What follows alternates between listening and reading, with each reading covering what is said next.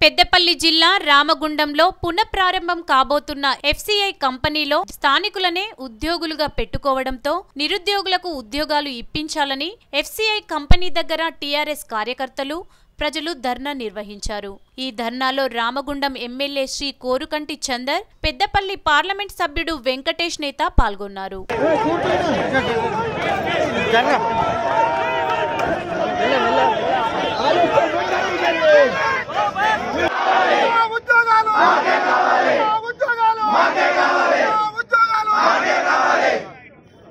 We want justice. We want justice. We want justice. We want justice.